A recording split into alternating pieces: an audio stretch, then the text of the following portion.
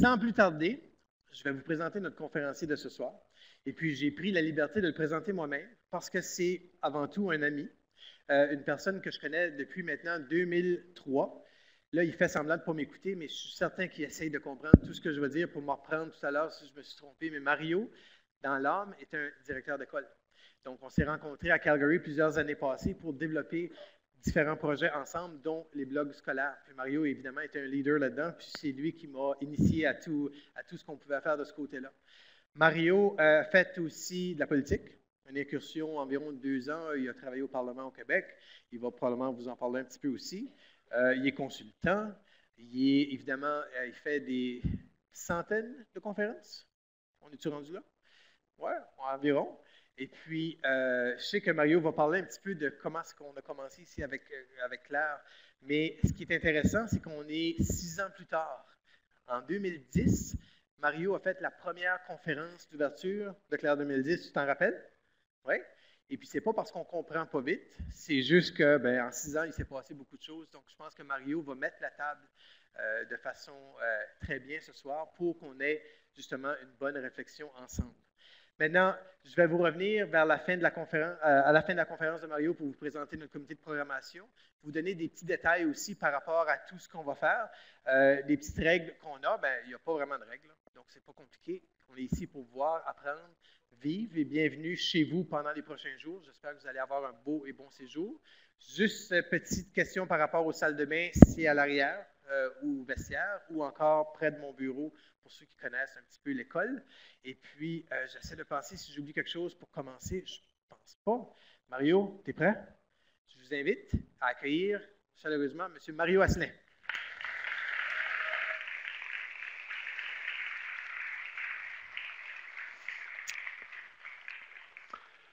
Bonsoir. Tellement heureux d'être ici encore avec vous cette année. Vous comprenez que les premières minutes euh, vont être des minutes un petit peu d'ajustement, point de vue son, tout ça. J'ai beaucoup de matériel pour vous autres ce soir, alors j'espère que vous êtes en forme. Je vais vous faire travailler un petit peu également. J'ai intitulé ma présentation du réseau de l'éducation à l'éducation en réseau et je vais beaucoup vous parler des réseaux. Euh, a un message que je veux vous passer ce soir, c'est d'essayer de voir comment on peut, après six ans, mieux s'organiser pour augmenter l'ampleur des réseaux qu'on a construits ici et que vous avez construits évidemment dans vos milieux. J'ai trois intentions de communication. Je veux faire un retour sur les origines de Claire. Je pense que c'est important de temps en temps de, se ramener en arrière et de dire d'où ça part, d'où c'est parti cette petite aventure-là. Euh, je veux aussi nommer l'importance. Pourquoi, pourquoi c'est si important que ça, travailler en réseau?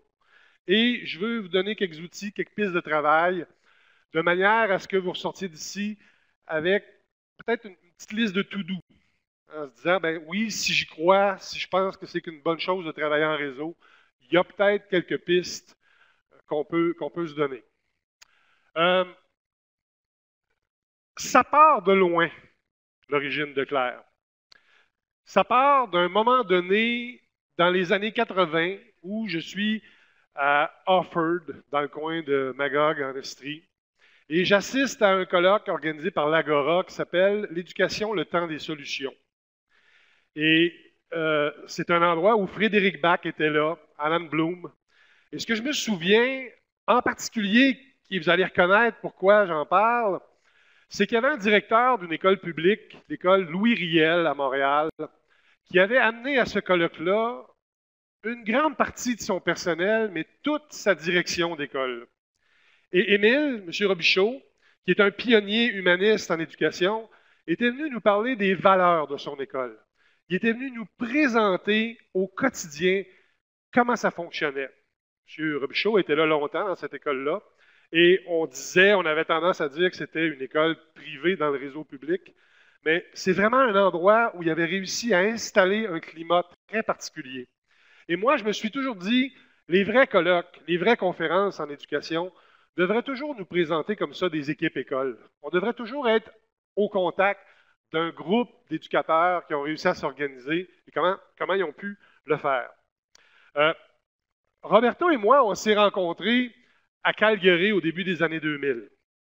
Je ne vous cacherai pas que quand j'ai débuté mon programme, où chaque enfant avait son blog en 2003, j'étais à la recherche, oui, de sous, mais aussi d'alter ego, de gens avec qui je pouvais partager, parce que souvent je me sentais très seul comme directeur d'une école où en 2003, chaque enfant avait son propre blog.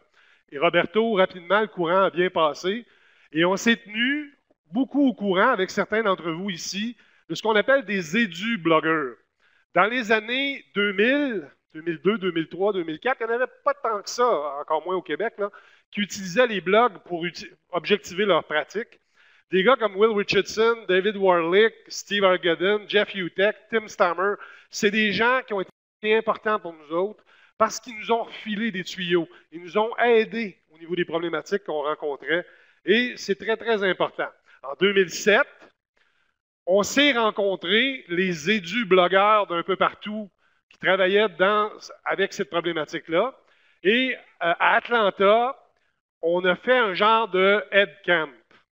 Et le feeling d'être dans son agrégateur, des fois on dit le feeling d'être dans son, tweet deck, hein, parce que personnellement, vous vous côtoyez virtuellement par le web, mais c'est le fun de se voir une fois de temps en temps.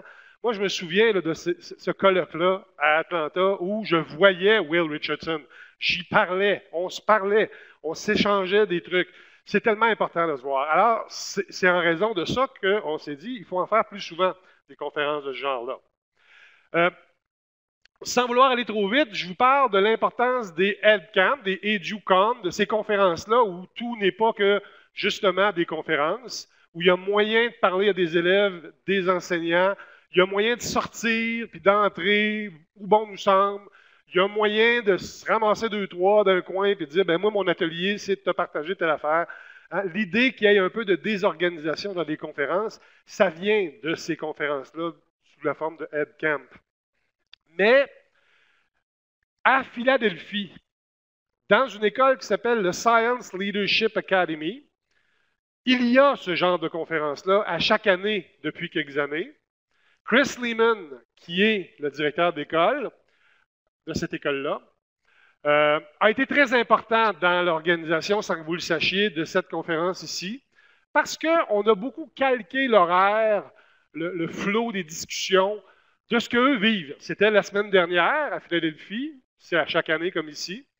Et c'est une école un peu particulière. C'est une école qui a été démolie parce qu'il y avait trop de difficultés avec les détecteurs de métal, avec la drogue, avec la violence, avec la. Ça ne marchait plus. Et quand ils ont engagé Chris pour relever l'école, ils ont parti avec la direction. Ils se sont fait aider par le Benjamin Franklin Foundation et ils ont concocté un nouveau milieu. Et aujourd'hui, quand on y va, c'est fascinant de voir comment c'est des enfants, les élèves qui sont les gardiens, les gardiens des valeurs, mais les gardiens aussi quasiment de sécurité. Hein. Si on, se promène et on s'éloigne un peu, on s'en va dans des endroits où on n'est pas trop sûr qu'on a le droit d'aller, il y a un jeune homme qui va venir nous voir, une jeune fille qui va venir nous voir. May I help you? Is there something wrong? Hein, c'est eux qui ont un peu comme le contrôle. Et ce soir, c'est rare que je porte ça, c'est mon sarreau de SLA. Euh, Chris m'avait offert, un peu comme si j'étais un, un enseignant de, cette école-là. Et dans des moments importants, je Leadership Academy. Euh, avec Roberto, on est allé à Autran, on est allé avec des élèves. On a euh, voulu, en revenant de là, se dire, ben, je pense que là, mon école, il parlait d'ici, on est mûr là, pour essayer de s'organiser de manière à en faire un headcamp. Et c'est à partir de là, avec des communications web, avec les précurseurs qui sont sur le comité dont tout à l'heure Roberto va vous les présenter. C'est comme ça qu'on en est arrivé à concocter cette rencontre-là. Moi, ce qui me fascine, c'est qu'on voit bien depuis quelques jours qu'il y a un certain buzz sur la toile. Les éducateurs se disent, hey, bon, et plus on a ouvert, plus on a mis de, back channel, plus on a mis de possibilités pour les gens qui ne sont pas ici de voir ce qui se passe en dedans, bien, plus on a quand même l'impression qu'il y a une valeur ajoutée à être ici. Et euh, moi, je suis très heureux de voir qu'il y a autant de monde qui continue de se déplacer parce que oui, on sait qu'il y a une valeur ajoutée à être ici.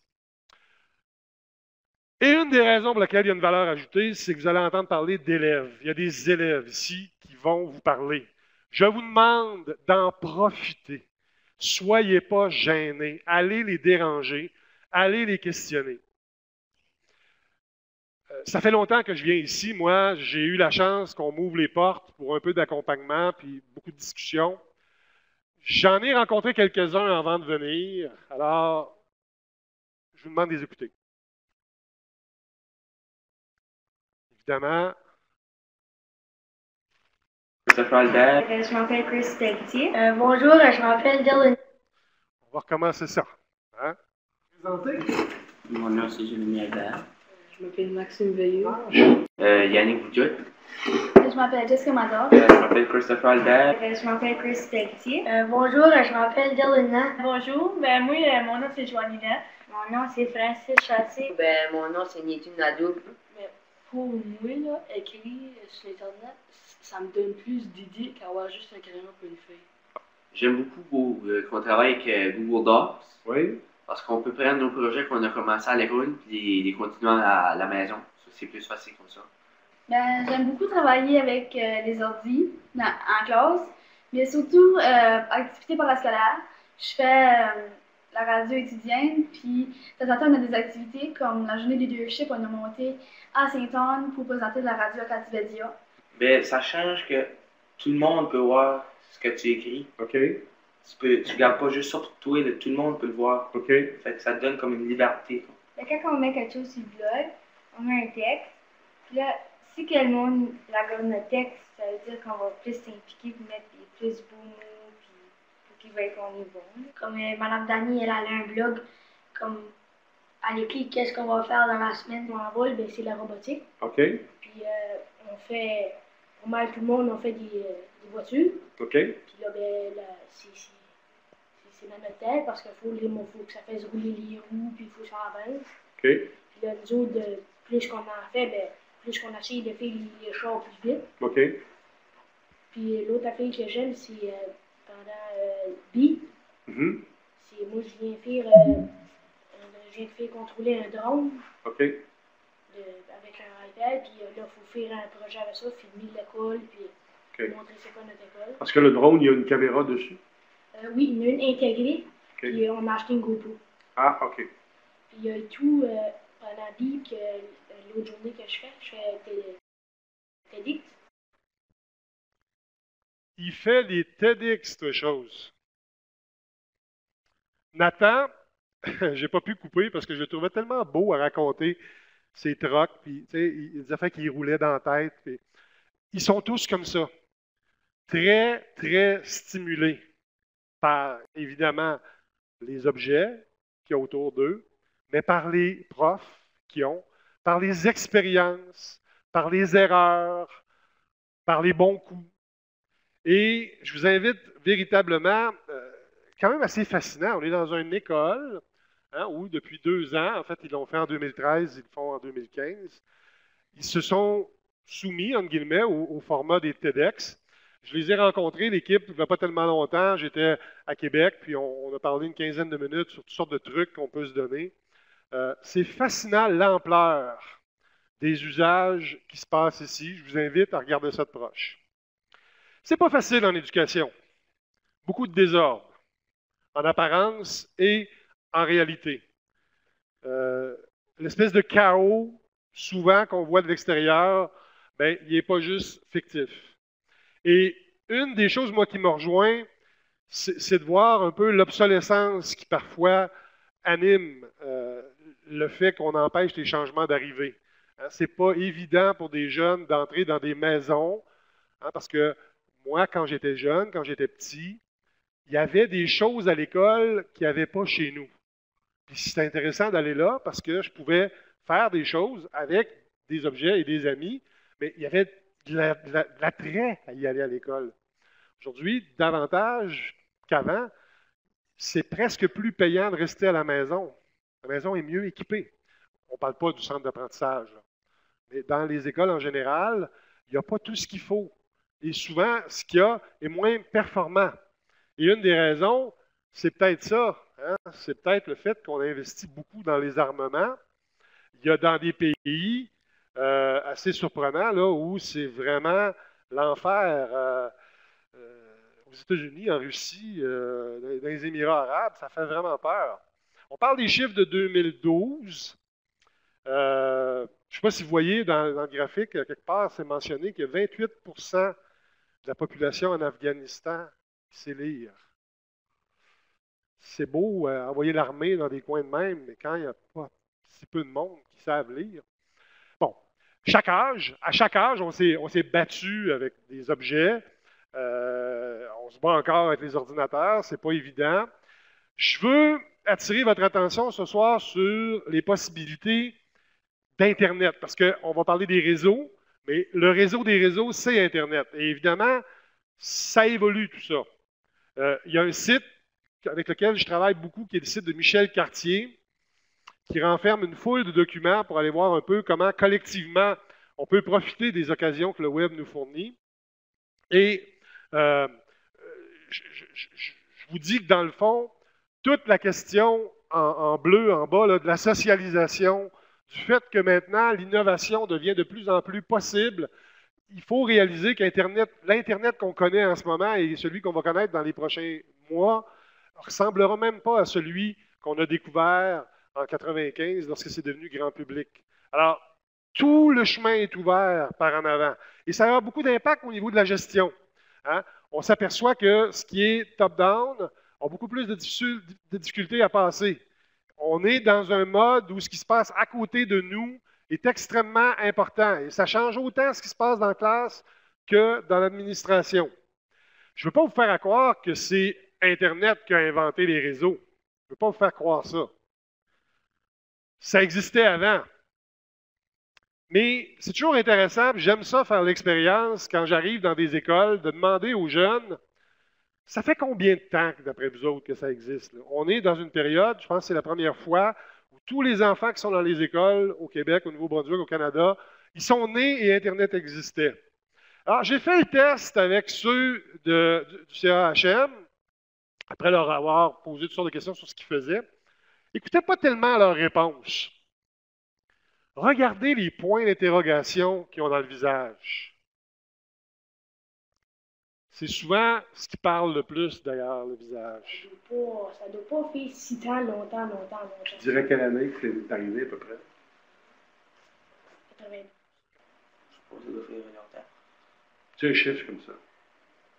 1980. Oh, je dirais 1965. 65?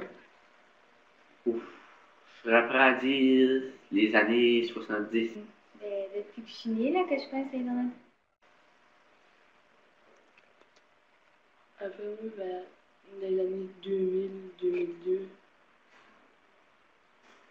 Ça fait longtemps, non? Euh, ça doit faire une bonne vingtaine d'années. Euh, je dirais comme environ comme des 2000.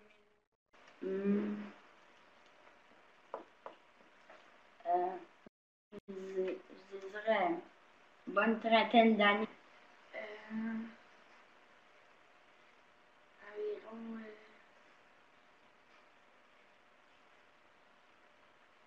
dans les 1900.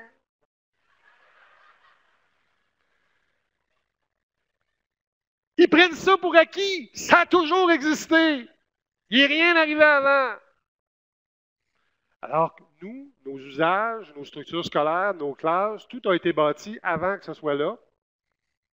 C'est plus ou moins facile de s'adapter. Mais eux prennent ça pour acquis.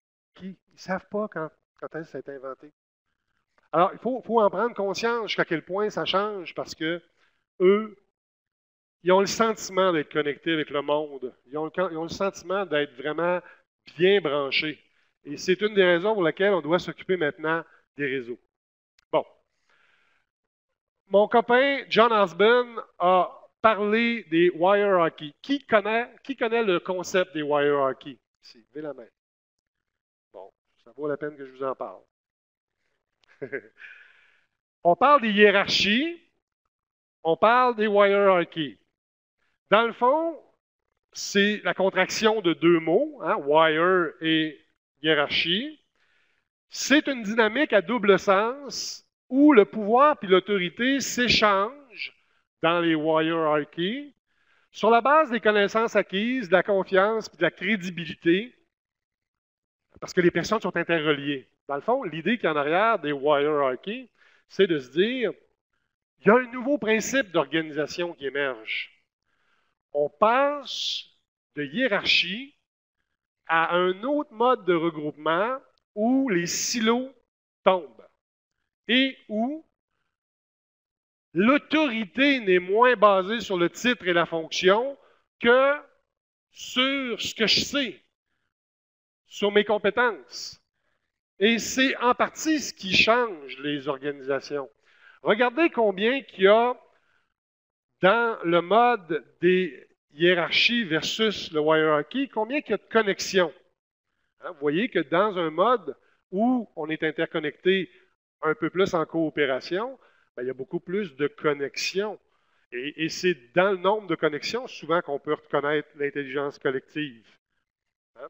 Je vous invite à lire ce que John Osborne a fait, autant sur son site web que dans ses livres, mais je veux attirer votre attention sur toute l'évolution et l'opportunité que ça crée qu'on passe d'un monde hiérarchique à un monde hiérarchique. Et d'un point de vue de ce qu'on va inventer comme dynamique de groupe, encore là, on est au début. Dans les silos existants, il y a déjà des communautés qui prennent forme parce que, à cause de la capacité qu'on a d'échanger de l'information, même si on met des blocages un peu partout, il y a de nouvelles alliances qui se font.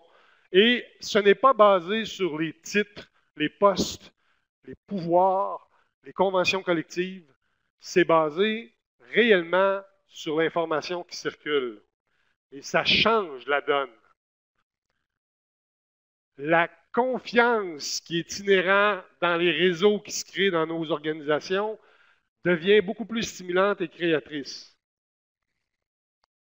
C'est pas parce qu'on a mis des objets technologiques dans les mains des organisations que les hierarchies se sont retrouvés à prendre racine. Les objets technologiques, je vois une chaise, je suis supposé comprendre en la voyant que c'est fait pour s'asseoir, hein, les affordances.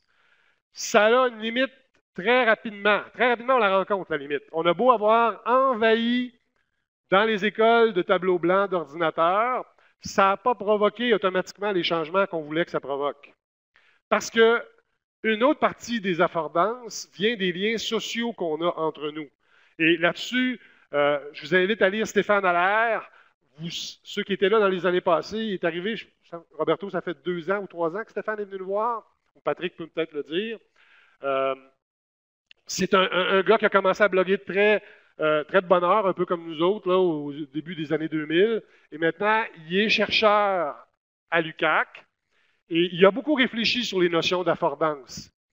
Je prends à la fin, l'intérêt du concept d'affordance, ça se limite plus aux, possibilités offertes par un outil donné à ce qui survient lorsque l'individu l'utilise. Mais aussi, c'est ça qui est le plus important, à ce qui se produit quand un individu interagit dans un contexte social donné. C'est-à-dire qu'au sein d'une communauté d'individus, il y a des valeurs communes, il y a des pratiques communes, il y a des usages, et c'est ça qui fait que l'objet technologique prend tout son sens. Alors, évidemment, ceux qui pensent que d'un bureau de premier ministre ou d'ailleurs, on décide qu'on va envahir les milieux d'objets et ça va faire le travail, on se trompe. C'est pas comme ça que ça fonctionne. Et il n'y aura pas non plus qu'un seul objet qui va pouvoir stimuler les usages et qui va pouvoir varier les contextes d'apprentissage. Oui, l'objet livre, ancré aussi aujourd'hui une sorte d'affordance. Hein, c'est un peu l'inverse de notre paradigme à nous. Mais ce n'est pas parce que les jeunes sont hyper connectés, c'est pas parce a partout des stimulations technologiques. Hein, il y a des statistiques là-dedans difficiles à, le, petit avec sa bicyclette. Ça ne veut pas dire que la job est faite. Ça ne veut pas dire que parce que des jeunes enfants de 3-4 ans manipulent des iPads, que ça, pédagogiquement, ça va provoquer ce qu'on veut que ça provoque pour l'apprentissage de la lecture et de l'écriture. Il y a des interventions, des liens sociaux, des valeurs qui doivent créer l'affordance, qui précipitent de manière très concrète les usages qu'on va faire. Bon, je ne vous ferai pas le coup de vous parler des, général, des digital natives, on en a déjà abondamment parlé ici. Comme plusieurs, moi j'aime mieux parler des 3 C, la génération C, communiquer, collaborer, créer. Euh, on a parlé beaucoup de la révolution. M. Cyrulnik a, a parlé de mutants dans le sens de mutation. Hein, Ce n'est pas nécessairement tant que ça leur cerveau qui a changé, comme le fait qu'ils ont, on est en place à une véritable révolution, et aussi une tempête parfaite. Il y a vraiment un contexte lié à la synchronicité d'un paquet de phénomènes qui fait que les écoles sont véritablement euh, bousculées. Mais, comment ça se fait que juste dans l'école, qu'on parle de nouvelles technologies? C'est plus nouveau, là. Ça fait un grand bout à part de ça que ça n'est plus nouveau, là. Hein, le monde numérique nous a envahis et c'est pas nouveau. Comment ça se fait que dans les classes actuellement, le ou se parler entre personnes, c'est presque considéré comme une mauvaise chose? Je ne sais pas comment vous menez vos classes ou vous voyez comment ça va dans les classes, mais c'est encore un lieu où on doit se sentir coupable de parler à quelqu'un. C'est encore important, le lieu de classe, mais est-ce qu'on se demande assez qu'est-ce qu'on pourrait faire mieux en dehors de la classe? Et, je parle presque pour tous les niveaux d'enseignement. Ça aussi, il y a une réflexion à faire à cause de la tempête parfaite. Les étudiants, les élèves considèrent qu'un travail sérieux, c'est un travail qui est diffusé. Aujourd'hui encore, un professeur va dire hein, Amène-moi ça, tu travailles pour moi, puis ça va s'arrêter là. C'est comme un non-sens. Vous le savez, on en parle souvent entre nous. Le phénomène web a fait que la moindre petite photo, le moindre petit texte, le moindre petit gig de musique, ben, il, s'en va ailleurs. Les, gens, là, vous savez, les parents qui écrivent en arrière de leurs photos. Stéphanie, 10 ans, telle date. Ben, l'enfant qui voit ça, il ne comprend pas. Tu écris en arrière de ta photo, tu la mets dans un scrapbook, tu regardes ça trois fois dans ta vie. C'est quoi l'affaire? Tu as pris une photo, diffuse-la, montre-la, parle-en. Alors, il y a encore là une fracture dans le fait qu'on fait travailler des jeunes dans des contextes où on ne diffuse pas ce qu'on fait. Je comprends qu'il y a tout le contexte des apprentissages, puis du in progress, qui fait qu'on est gêné parfois de montrer nos propres lacunes. Mais là, à un moment donné, il va falloir dépasser ça. Hein, c'est très important. Alors, toute la question de la tâche des enseignants, toute la question de comment on s'organise pour faire face à cette tempête parfaite-là, ben, il faut tenir compte de ce que vous savez déjà, puis que je n'ai pas nécessairement le goût de trop élaborer ce soir. Je vais vous parler davantage de comment on peut travailler mieux en réseau. Euh, sur le multitâche, on a eu des bonnes conférences ici. Hein? Méfions-nous de la capacité supposément meilleure qu'ont les jeunes d'être multitâches. Ce n'est pas si vrai que ça. Rappelons-nous ce que Mark Prinsky est venu dire. Mais il faut se mouiller, il faut se salir. Les jeunes ont besoin, les garçons en particulier, d'avoir des usages adaptés à ce qu'ils sont. On n'est pas des robots non plus. On a besoin de, de, retrouver dans nos expérimentations des gains en temps. On a besoin de savoir que ce qu'on va faire comme enseignant, qui va nous coûter cher parce que ça ne va pas aller aussi vite que d'habitude, ben, on va retrouver de l'oxygène à quelque part. On a besoin de comprendre que ce qui se passe très loin de nous a des répercussions dans nos classes, à côté, dans, dans nos milieux, même si ça se passe au bout du monde. On a besoin moins peut-être de fréquenter des chantiers non fréquentés, que de prendre les lieux où on est d'habitude, les chemins qu'on prend, mais de les prendre différemment. On a besoin de ne pas censurer. On a besoin d'avoir le droit à l'erreur. Euh, j'ai mis ce dessin-là. à Autran, quand j'étais allé à Autran, j'avais été surpris. Il y avait quelqu'un qui dessinait pendant qu'on travaillait en groupe. On était une quinzaine. Puis, pendant qu'on travaillait, il faisait des caricatures pour faire rire les gens. Moi, j'étais un peu choqué de voir qu'il n'y avait pas de discipline, qu'il n'y avait pas d'ordre, qu'il n'y avait pas de. Le gars, il faisait rire. Mais c'était quelqu'un qui était payé, qui était rémunéré. C'était le seul, d'ailleurs, dans le groupe qui l'était, pour mettre de l'oxygène dans nos discussions. Alors, tout ce qui est ouvert a tendance à être plus constructif. Le ludique aussi. On peut s'amuser dans n'importe quelle situation, même quand ça a l'air sérieux. Une, caricature de Charbe hein, qui dit c'est plus facile, dans un sens, de faire rire, de faire chier les terroristes que de faire rire les profs. Les jeunes qui s'identifient beaucoup aux révolutions qui se passent. Ça, je ne sais pas véritablement si c'est un dessin d'enfant. Je n'ai pas trouvé l'origine. Donc, des fois, il faut se méfier de ce qu'on fait dire à des enfants. Mais c'est quand même beau. C'est quand même profond comme message. Hein, le crayon brandi qui annonce la prochaine révolution. Nos jeunes sont différents. Euh, un, gars qui a, reçu un prix Nobel qui vient dire les enfants, ils pensent moins à chercher un emploi qu'à en créer. Euh, Marc-André Girard parle beaucoup de ce que les enfants auraient le goût de dire à leurs enseignants. hein. J'aimerais ça que vous preniez deux minutes. On va prendre deux minutes. Vous pouvez le tweeter ou vous pouvez le dire à votre voisin. Dans les deux prochains jours, jusqu'à samedi midi, qu'est-ce que je veux me dire à moi-même? Si j'avais à résumer ça en 140 caractères ou en une phrase, quel message je veux m'envoyer à moi-même qui va me, motiver pour les 48 prochaines heures ici, pendant que je suis ici? Qu'est-ce que je vais chercher? Qu'est-ce que je vais essayer de trouver? C'est quoi que je sais, mais que je ne veux pas m'avouer ou encore que je résiste ou. Hein? Je vous laisse deux minutes. Partagez ça avec votre voisin ou tweetez ça. Qu'est-ce que je veux me dire qui va me donner la motivation pendant mon séjour à Claire?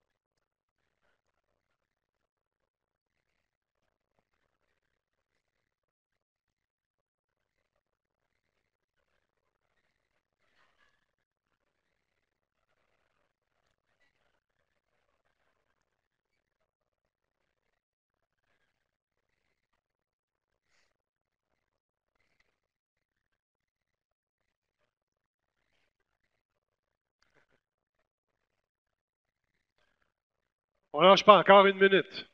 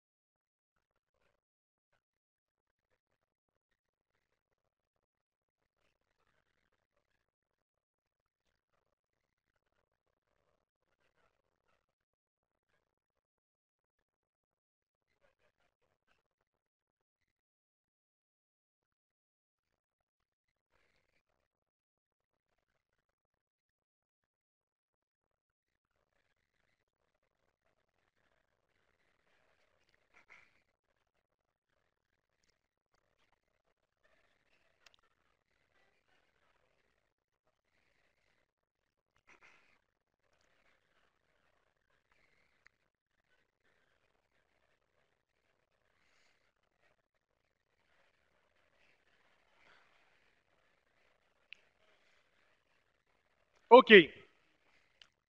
Alors, euh, j'ai vu défiler beaucoup de belles propositions.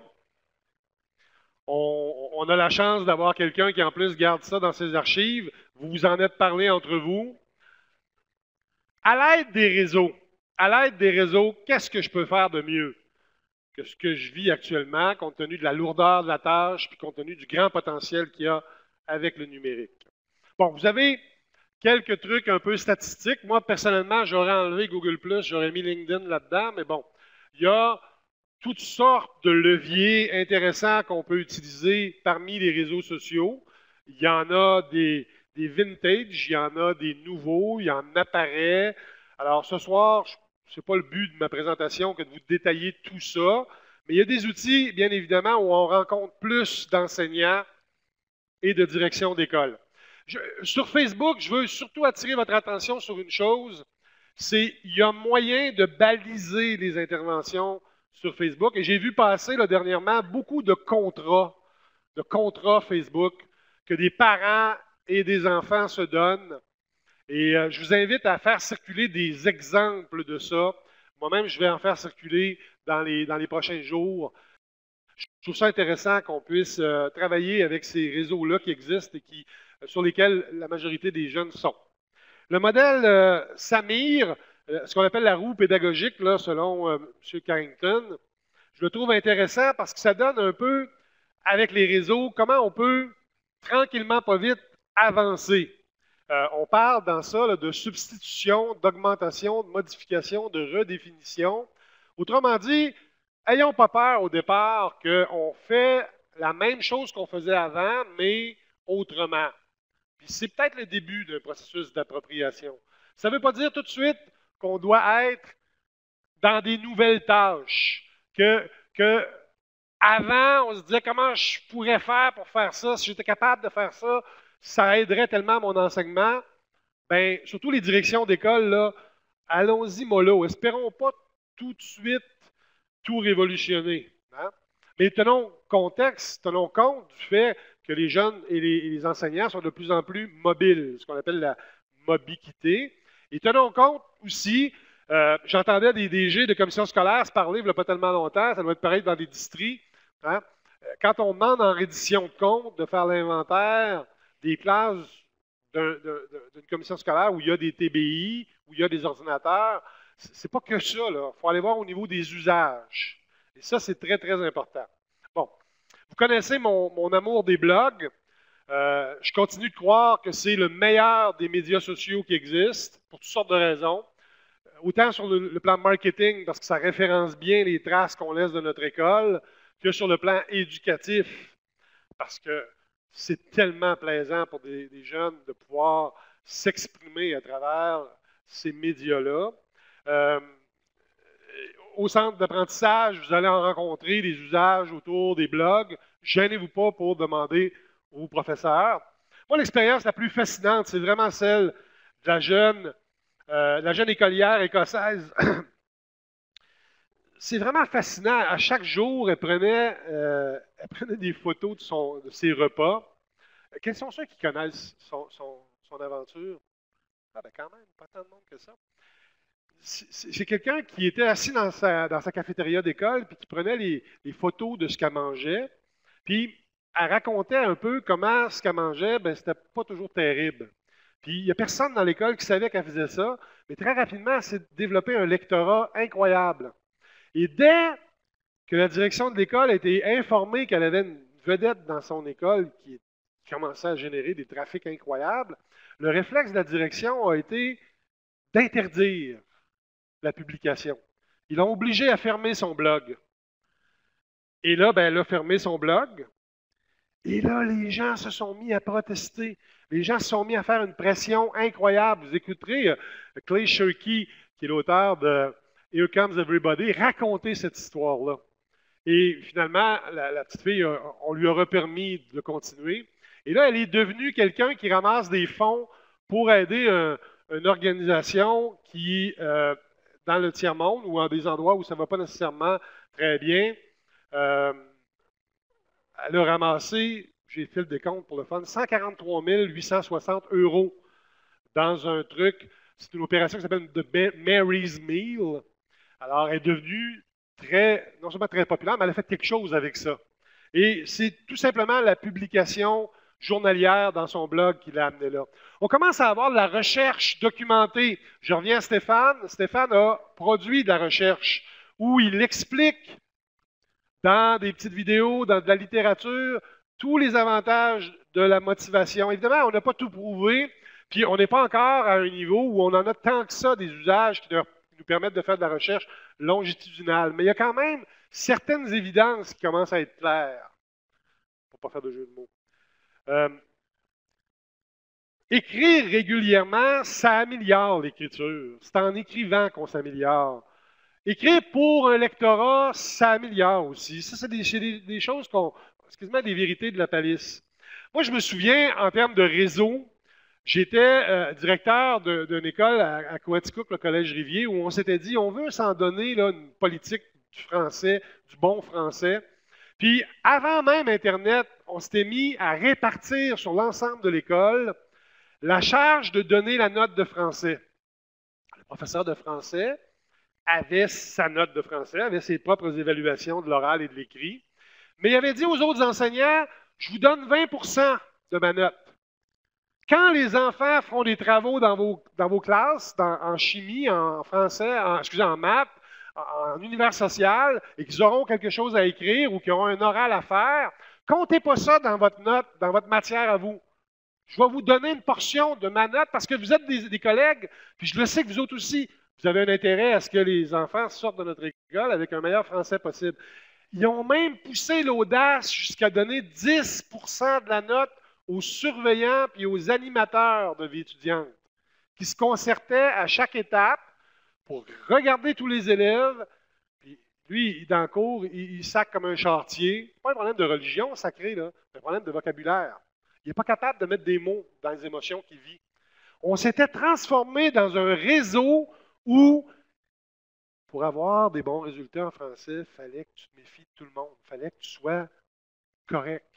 Pas juste avec ton prof de français, là, avec toute la communauté. Alors, il y a moyen d'innover dans l'apprentissage de la langue si ça devient la tâche collective, pas si c'est juste l'intérêt d'une personne. Et je sais qu'on n'écrit pas beaucoup les enseignants, les administrateurs. Je vous invite à en suivre. J'ai fait par exprès parce qu'ici, il faut se suivre. Il y en a plusieurs d'entre nous qui bloguons, qui écrivons, qui, faisons de la veille, qui sommes des bons curateurs. Euh, bon, il y en a quelques-uns là. Moi, c'est des gens que j'apprécie beaucoup suivre en anglais, en français. Euh, François Jourde, un professeur de philosophie.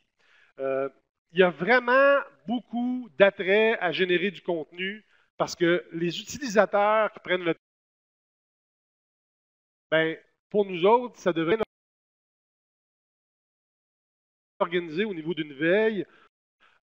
notre réseau prend de l'importance. Des choses que vous savez déjà, là, que je vous rappelle, au niveau de Twitter en particulier, l'Institut de littérature comparée. Hein, il y a des profs qui ont commencé à faire des usages vraiment chouettes de Twitter avec juste les 140 caractères.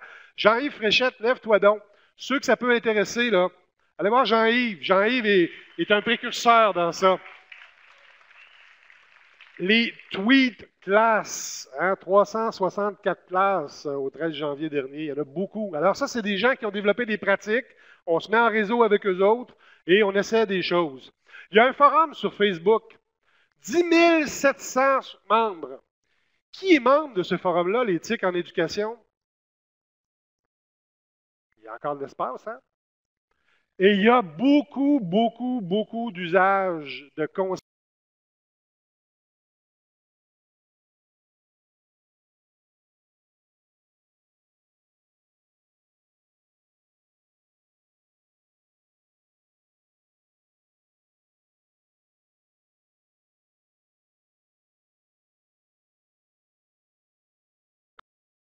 conseils, pratiques qui se donnent là. Les gens posent leurs questions, il y a toujours quelqu'un qui apparaît, qui répond.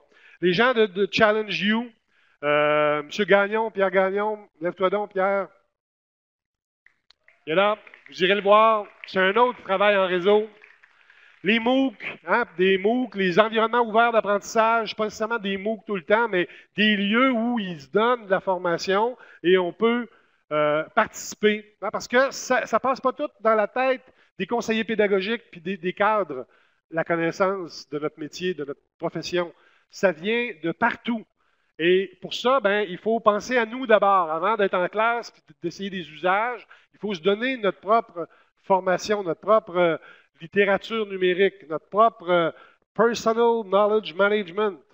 Et Laurence a bien résumé ça. C'est dans la posture d'apprenant qu'on y arrive. C'est en se considérant soi-même en apprentissage. Donc, pouvant aussi faire des erreurs, qu'on est capable de, y arriver. Je vous suggère le modèle de la communauté, parce que c'est un modèle sur lequel j'ai beaucoup travaillé et où on, est capable d'être pris en main solide. Euh, Bruno Bouteau, qui est un type que je travaille avec beaucoup, parlait de deux choses pour une communauté. Des gens qui font ensemble les mêmes choses, qui ont un lieu d'activité commun et une identité stable. C'est-à-dire qu'à l'intérieur du lieu commun où ils font des choses, ils ne changent pas tout le temps d'identité. Ils sont des personnes qu'on peut re reconnaître. Des fois, certains utilisent des pseudonymes. Ça va. Hein? On, on, est capable de composer avec ça. Euh, je trouve que cette diapo-là est intéressante. C'est des facteurs qui peuvent influencer la participation à une communauté. Hein? On en a plusieurs. L'instrumentation, l'importance d'avoir accès à des outils, des instruments pour pouvoir travailler. Le langage, il y a des gens qui ont des craintes par rapport au fait de s'exprimer à l'oral ou à l'écrit. Il faut trouver un moyen de contourner ça. L'intégration, l'accueil. Quand est-ce qu'on voit passer un nouveau membre dans, nos lieux communs, puis qu'on prend le temps de dire ben, Bienvenue, j'ai jamais remarqué que, que, que tu que tu t'intéressais à ce sujet-là.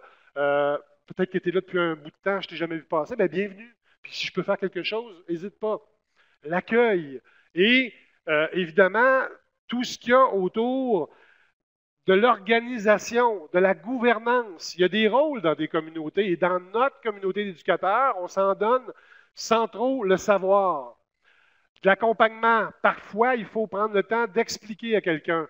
Parfois il faut se dire, je t'ai choisi, abandonne pas là, parce que toi, tout ce que tu, en termes de curation, tout ce que tu partages, si tu arrêtes de le faire, je, ça va me manquer. Hein? Alors, dites-le, vous comptez sur les autres, puis aussi, ben, annoncez vos couleurs de temps à autre. Je m'occupe de ce bout-là. Hein? Ça crée plus de signal et ça enlève un peu de, de bruit. Les gens ont réfléchi à ça parce que vous savez que le métier d'animateur de communauté commence à exister. Il y a des gens qui ont même une espèce de méthodologie pour bâtir des communautés. Alors, euh, euh, quelques règles de fonctionnement, c'est peut-être pas utile tout le temps avec des profs, mais des fois, euh, hein, quand, on arrive là, puis qu'on voit des, des, estimations qui tournent en rond, des gens qui chicanent, peut-être qu'on pourrait hein, intervenir, téléphonez-vous donc, écrivez-vous donc publiquement, c'est plus drôle comment ça, s'en va.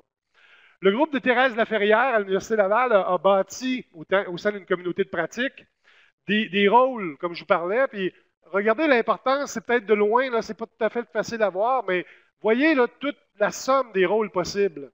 Hein, facilitateur, animateur de contenu, parrain, membre fondateur, technicien. Il y a toutes ces fonctions-là maintenant qui sont documentées.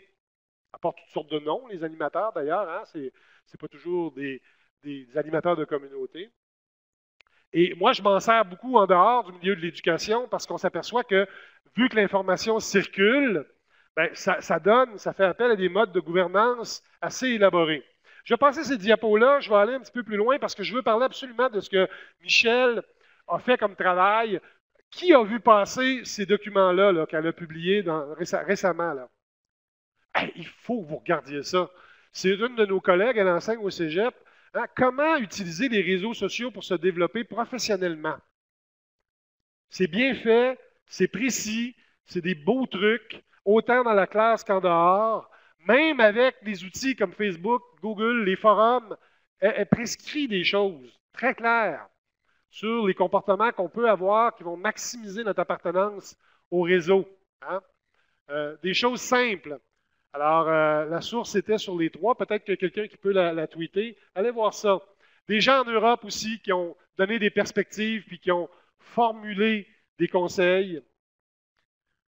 Moi, je suggère le modèle de l'organisation apprenante parce que c'est celui qui nous permet de faire le plus d'expérience en évitant de se sentir trop sous pression.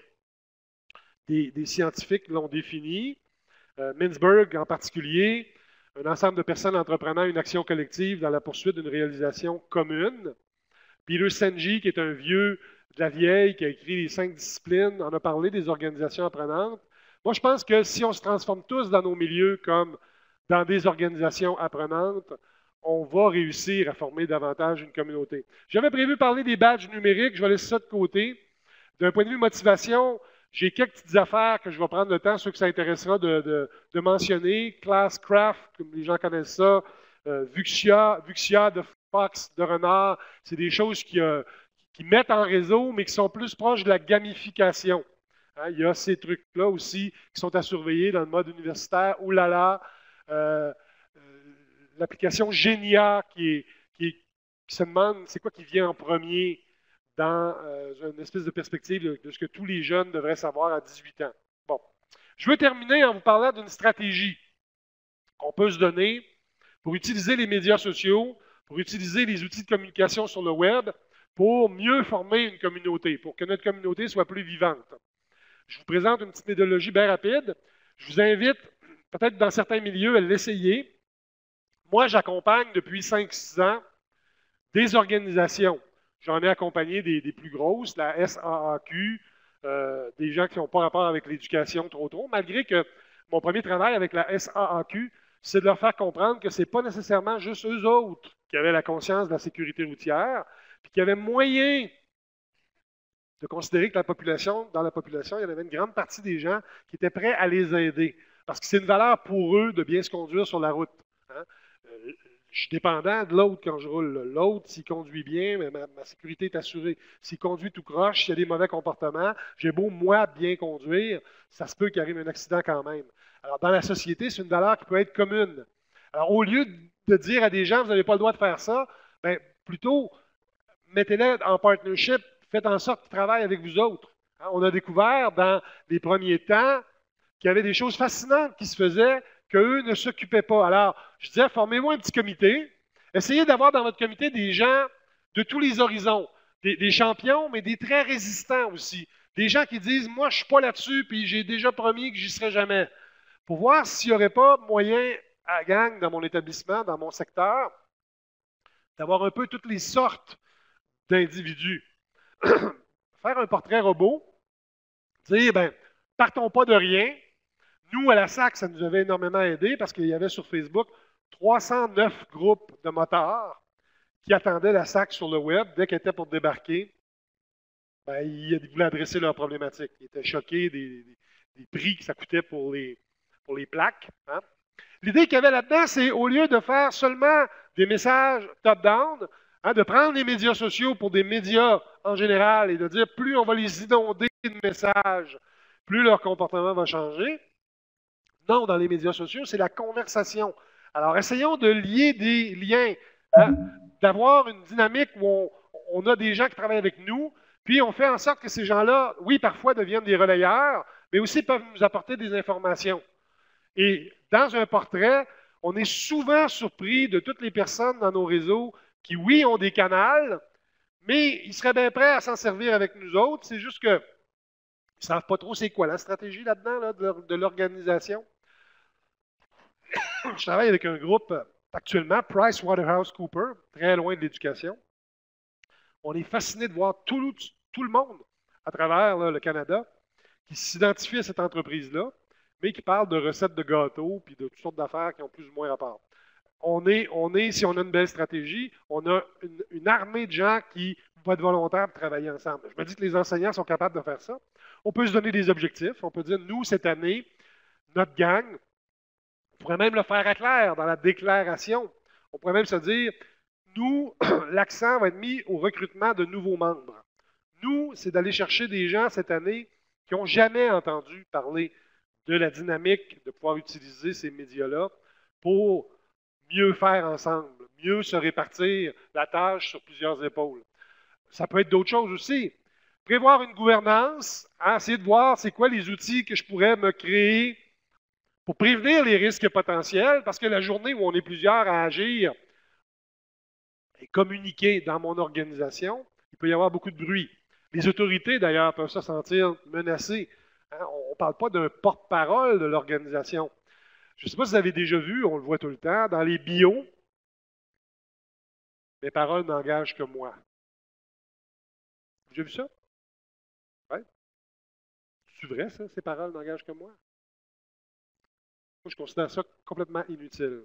mes paroles n'engagent que moi, bien sûr, tes paroles n'engagent que toi, mais essaye d'écrire des choses qui vont compromettre la, bonne, image de ton organisation. Il y a des gens qui vont débarquer quand même, hein, puis qui vont dire, écoute, y a t moyen que la photo, la photo que tu as publiée, quand on est dans les médias, puis qu'on est des enseignants ou qu'on est des membres d'une organisation scolaire, ben, il faut se dire, oui, oui, c'est moi qui parle, je ne parle pas au nom de mon organisation, mais veux, veux pas, je touche à mon organisation. Définir des activités, avoir plein, plein de programmes qui fait en sorte que ce que j'utilise, ben, c'est dans une stratégie et être original par rapport à ça. Et les jeunes en particulier peuvent être mis à contribution. Il y a énormément de publicité qui se fait, même par les maisons d'éducation, qui pourraient toutes être à zéro, puis on pourrait tous se donner sur le plan marketing des activités, faire valoir le sentiment d'appartenance dans notre école, puis la richesse. Hein, je dis souvent mettre des fenêtres au lieu des murs, ça serait pas mal plus efficace. Mais on peut tasser la- l'aspect marketing, on peut uniquement avoir des activités centrées sur le français, sur l'apprentissage d'une compétence en particulier. Et évidemment, bon, bâtir des chartes, ça, on a dépassé ce stade-là. Dans la plupart des écoles, on en a maintenant. Mais il y a d'autres outils qui peuvent être bâtis pour engager les parents en particulier ou engager les autres membres de notre communauté. Fixer des indicateurs. Ça, c'est peut-être le bout le plus nécessaire d'une démarche comme ça, puis auquel on pense le moins. Des trucs mesurables. Dans six mois, on voudrait avoir augmenté le nombre de membres Facebook. Je ne pense pas que ce soit vraiment un indicateur super, mais bon, il peut y avoir des choses dans Google Analytics qu'on va montrer certaines métriques. Il pourrait y avoir des activités, même de la présence à certaines activités. Le nombre de parents formés, le nombre de personnes qu'on peut atteindre très rapidement dans un message d'urgence. Il y a plein de choses qu'on peut faire avec des indicateurs pour monter notre stratégie. Bon, rédiger un document euh, qui, rassemble toutes ces actions-là et euh, faire adopter ça par la direction. Moi, je suis assez convaincu qu'un animateur de communauté, entre autres, quand ça s'occupe d'un groupe, ça ne fait pas juste parler de soi. Si vous allez souper avec quelqu'un, il vous parle juste de ce qu'il fait, vous ne voudrez plus souper avec lui une deuxième fois. Alors, les animateurs de communauté, c'est très important qui vantent les mérites des autres, qui relayent des contenus des autres, autrement dit, qui soient très généreux dans leur façon d'être. Et euh, ça, c'est une statistique qu'on a fini par trouver après 7-8 ans d'expérimentation. J'espère que là, ça n'ira pas à l'autre. Bon, parfait, tiens. Alors, c'est juste pour vous dire, dans le fond, que quelqu'un qui a la charge d'animer un réseau, et dans toutes nos écoles, on a des gens qui sont spécialisés en communication, on a même des membres de la direction qui s'en occupent, bien, ça peut être très bien de prendre ces métriques-là et de s'en occuper. J'en ai, euh, je travaille avec plusieurs indicateurs qui sont basés sur des communautés de pratique. Euh, prenez, par exemple un en éducation qu'on est gêné. On a notre jargon. Quand dans une gang, le monde a l'air d'avoir un vocabulaire où eux se comprennent, mais de l'extérieur, on ne comprend pas. Les garagistes, les avocats. Nous autres aussi en éducation, si on se parle sur le web, puis on forme une communauté, on a le droit d'avoir notre jargon, il ne faut pas être gêné de ça. C'est normal, on est des professionnels, puis il y a des fois pour utiliser des mots qui, très courts, vont faire comprendre des très grandes idées, ben, on y va. Alors, je vous suggère que si on, travaille en réseau, on va beaucoup générer de fruits. Euh, moi, je, je, suis dans une organisation qui s'appelle l'Institut de gouvernance numérique, très intéressé à documenter les pratiques numériques qui existent. Je vous invite à suivre un peu ce qu'on fait. Euh, pendant les deux, trois jours où on va être ici jusqu'à samedi midi, il y a un projet de prospective que je travaille avec la FING, la Fondation Internet Nouvelle Génération. Si jamais il y a des gens qui sont intéressés à essayer d'anticiper les usages du futur, euh, ça va m'intéresser de vous rencontrer parce qu'on veut, on veut former un, groupe qui va essayer d'anticiper les usages. Bientôt, on va parler d'assises du numérique. Ça serait intéressant qu'en éducation, euh, il y ait de plus en plus de gens qui s'y intéressent. Et moi, ce que j'aimerais, c'est que on s'en aperçoive de l'extérieur que la gang en éducation a l'air plus organisée, qu'elle s'est investie massivement. C'est déjà le cas avec Claire et avec un paquet d'autres milieux. Le REFER s'en vient. Il y a de plus en plus de nos lieux de formation qui se sont donnés collectivement, ne serait-ce que des mots-clics, et où de l'extérieur, on le voit, ils ont l'air bien organisés, eux autres, on les entend beaucoup parler. Mais c'est en maximisant la somme de ces petits gestes-là qu'on va revaloriser à la fois l'éducation et aussi qu'on va s'outiller pour que nous, on soit mieux capable de discriminer quels sont les gestes à poser. Oui, ça donne le vertige. Oui, c'est un gros plongeon. Euh, moi, je pense qu'il n'y a rien qui ne s'enseigne que l'élève ne désire apprendre. C'est Mérieux qui a dit ça. Mais pour attiser le désir, je pense qu'on peut compter sur la force des réseaux et la puissance des réseaux. Alors, il y a juste nous à saisir la balle au bon, puis motiver les jeunes avec ce qu'on représente. Je vous remercie de m'avoir écouté.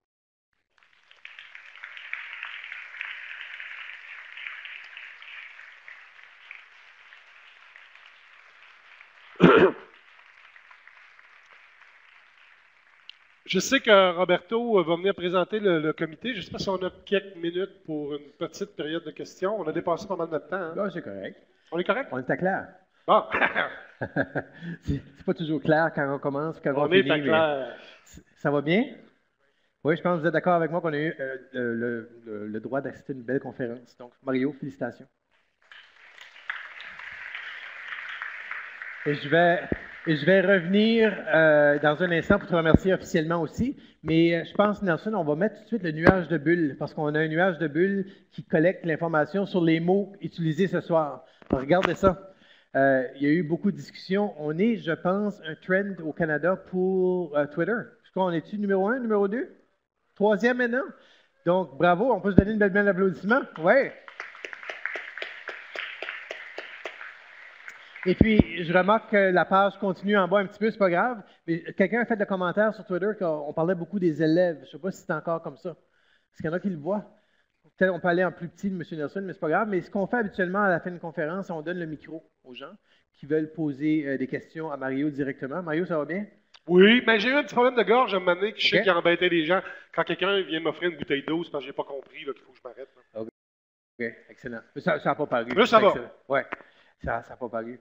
Euh, j'ai un micro. Nelson va faire la même chose de l'autre côté. J'arrive ou pas, peut-être un bout que j'ai été trop vite ou une petite question. Là, euh, je, me suis, je me suis engagé à vous parler de réseau. Ben, si vous pouvez rester sur ce thème-là, ce serait parfait, mais j'accepte n'importe quoi.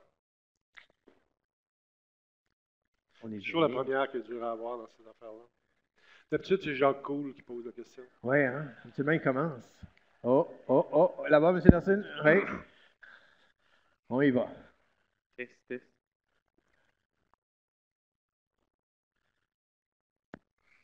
Bonsoir.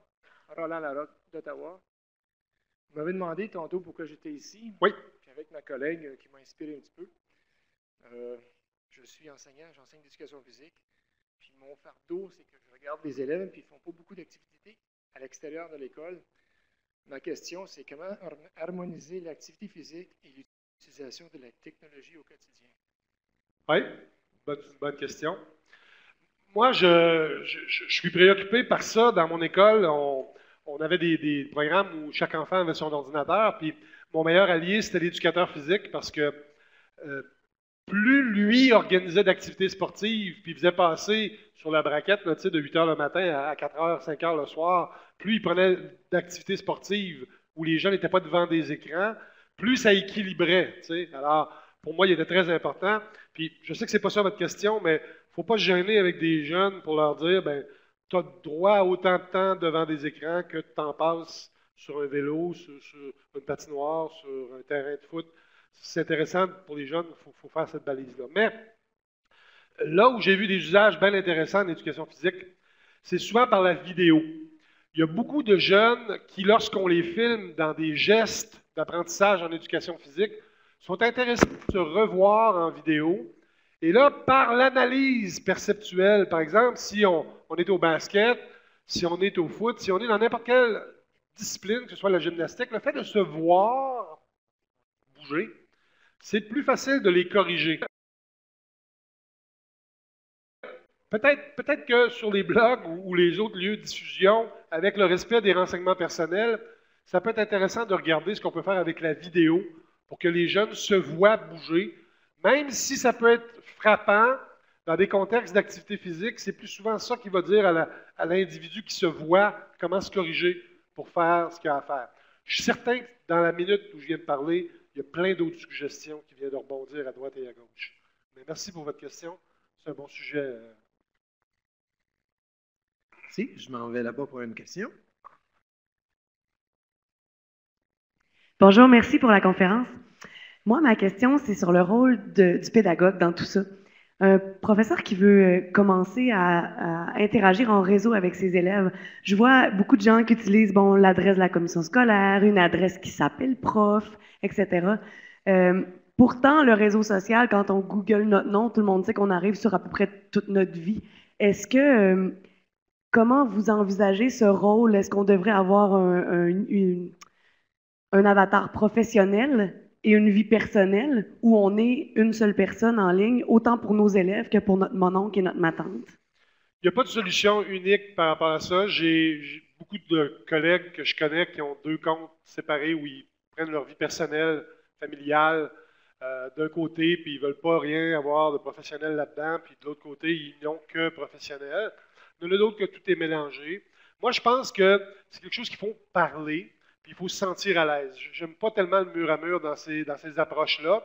Par contre, J'aime beaucoup pour des individus dans des professions comme l'enseignement que ça coûte pas trop cher s'essayer professionnellement. C'est-à-dire que si j'ai plein de techniques, souvent ce qui remplit les problèmes techniques, c'est les exigences des patrons ou l'exigence des structures.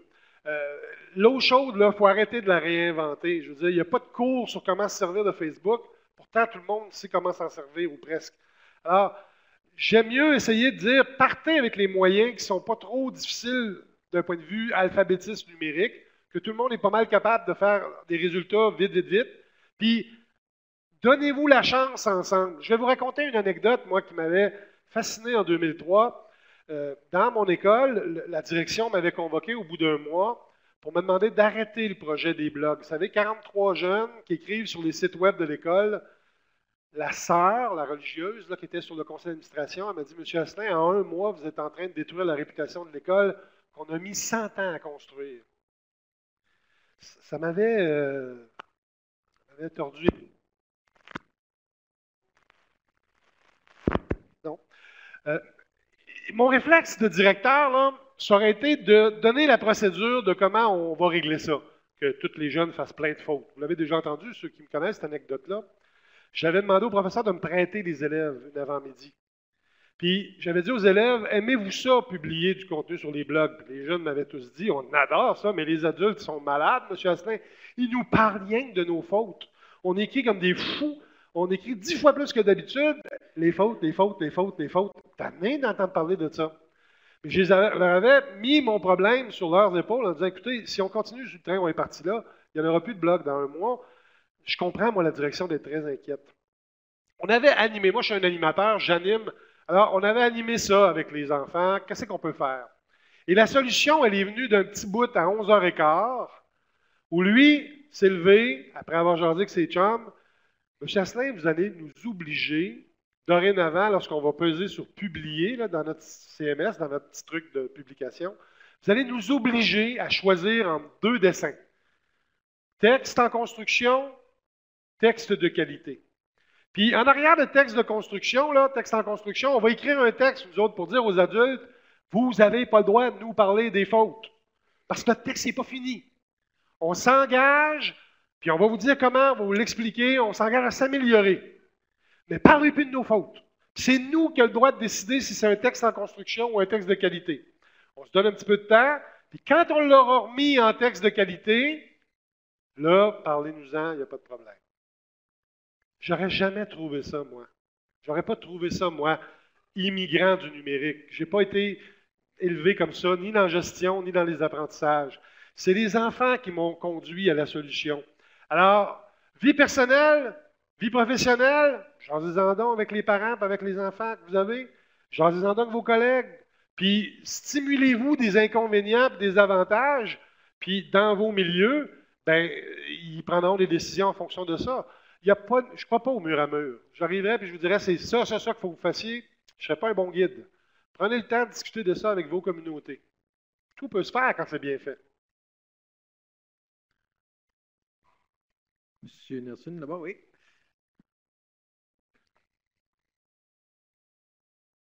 On va prendre peut-être euh, deux questions encore, puis ensuite, euh, D'accord. je sais qu'il y a des gens. Courte qui- question pratico-pratique. Pierre-Hugues Dupuis, euh, conseiller pédagogique de français à la commission scolaire Rivière-du-Nord, Saint-Jérôme, Laurentide.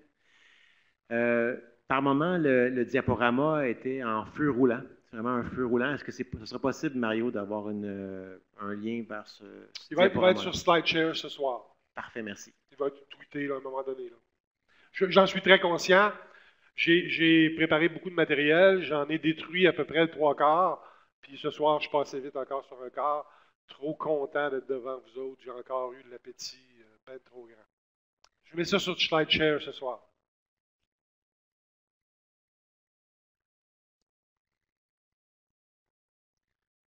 Tu as une dernière question?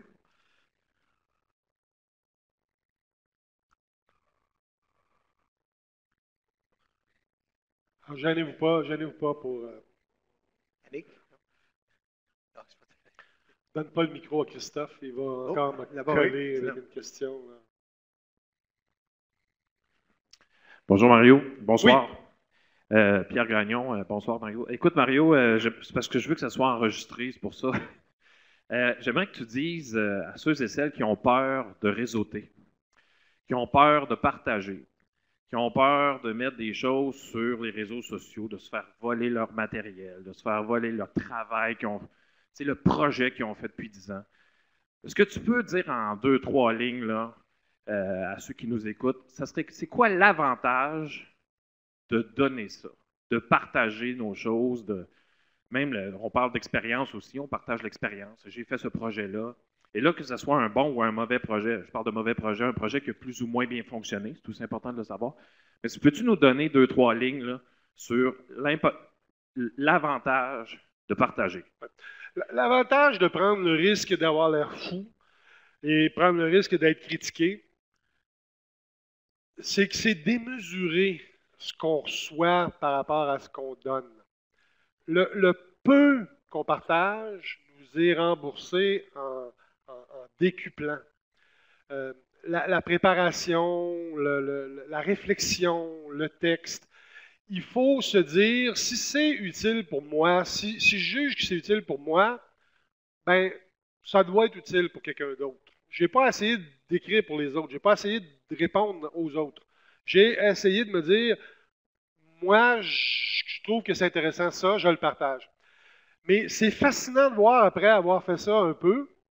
Au début, le rayonnement n'est pas nécessairement très grand, malgré qu'aujourd'hui, ça peut aller très rapidement avec euh, la puissance logarithmique des gens qui le relaient. Moi, ce qui m'a fasciné dans ma vie professionnelle, c'est réellement ça, c'est j'ai reçu, j'ai reçu. euh, Aujourd'hui, c'est- fou comment ça a transformé ma vie professionnelle. J'ai des fois même presque plus besoin de demander. Puis là, à la force qu'on est ensemble, la force de la gang qu'on est ensemble, Combien de fois ça m'est arrivé que des gens qui m'aient critiqué pour quoi que ce soit, puis que c'est d'autres qui sont venus prendre ma défense, qui sont venus prendre soin de moi, qui sont venus dire à la personne qui avait une petite crotte, là, ben garde, regarde là, ou fais ci, ou lâche-les tranquille. On est capable entre nous de s'auto-réguler. parce qu'on est beaucoup maintenant. On n'est on plus une dizaine, on est des centaines, voire des milliers. Alors, si on fait attention aux nouveaux qui arrivent, là, pour pas que le vertige soit trop grand, ben, on- on est capable rapidement de rembourser à la tonne quelqu'un qui fait un petit geste qui, est nerveux de le faire. hein. Je comprends très bien, je pourrais avoir une approche un peu juridique, tu sais, ta participation de cours, là, que tu as le droit d'auteur dessus, là, que ça fait 20 ans que tu travailles dessus, là, elle t'appartient-tu vraiment? Si on est des professionnels, ce qu'on fait là, sous l'égide de nos, de nos salaires et de nos institutions, c'est à nous, aux institutions pour lesquelles on travaille. Mais en même temps, je n'ai même pas le goût de vous tomber dans ce débat-là. Ça ne m'intéresse pas. Ça ne m'intéresse pas. Faites-le pour vous. Essayez-le pour vous. Faites un petit pipi dans l'océan. Je vous garantis, ça va vous revenir comme une belle vague fraîche épurée. Celle-là, je ne l'avais pas préparée, je m'en excuse d'avance.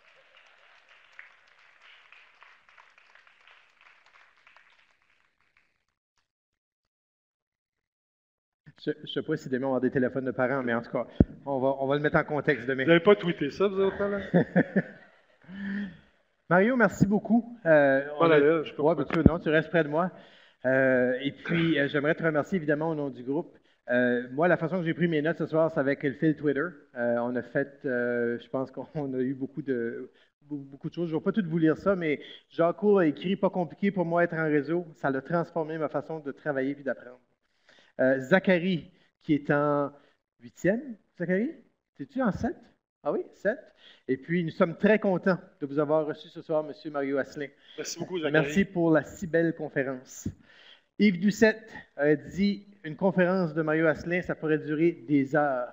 Fascinant, c'est engageant. Claire 2015, participer à une communauté d'apprentissage par réseau, c'est essentiel. Euh, Catherine Lapointe, faire ensemble dans un lieu commun et avoir une, une identité stable. Mélanie Bronsard, si je le dis bien, un enseignant qui ne se met jamais à la place de ses élèves vend un produit qu'il n'achète pas, l'éducation. Maxime Gauvin dit qu'il faut se mettre en posture d'apprenant. Chantal Maheu, en direct sur la web diffusion, Claire 2015, se questionner, se sentir bousculé, oser aller de l'avant.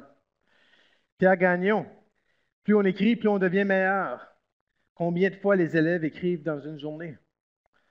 Corinne Gilbert, intéressant, le mot élève était plus gros tout à l'heure, donc probablement que ça l'a changé avec les tweets aussi. Sébastien Deschamps, les blogs, encore un média de choix pour l'école, pour les élèves. Faites publier les élèves. Et moi, c'est drôle parce que l'an passé, je travaillais dans d'autres écoles euh, comme mentor et puis euh, je présentais le blog. Les gens me regardaient comme si j'avais trois têtes. Puis euh, j'essayais de leur expliquer que c'était pas nécessairement la meilleure invention depuis le pain en tranche. Puis eux autres avaient de la misère à croire que ça faisait 10 ans qu'on blogue. On célébrait cette année, justement en 2014, nos 10 années de blog ici à l'école, puis chez vous aussi. hein. Euh, Ben, moi, personnellement, ça a commencé en octobre 2002, puis je ne peux pas dormir le soir si je n'ai pas fait mon petit paragraphe. Ensuite, il y en a une que je vais lire absolument parce que tu as demandé aux élèves de les, qu'est-ce qu'ils voulaient faire dans les prochains, dans les prochains Oui, jours. oui. C'est juste qu'il y en a tellement que je ne peux pas réussir à le trouver. Oui. Euh, De mémoire, là, ça, ça disait quoi? là? Chrissy Pelletier a dit Mario Asselin est vraiment intéressant. Je suis contente d'avoir fait partie de cette expérience ce soir. Ouais, Chrissy est dans la vidéo, part ça. Oui, en passant, oui. Ensuite, euh, je vais me rendre là, là. Parce que je pense que ça finirait sur une bonne note. Et puis, euh, oh, il y en a trop, il y en a trop, il y en a trop. Il y en a trop. C'est bon signe. Euh, oh, je pensais pas que c'est. Oh, Lise Galluga a écrit, euh, Galuga a écrit euh, Une chance, autrement on s'organiserait à distance. Rien ne peut empêcher l'énergie, le partage de Claire 2015. Ensuite, euh, oh,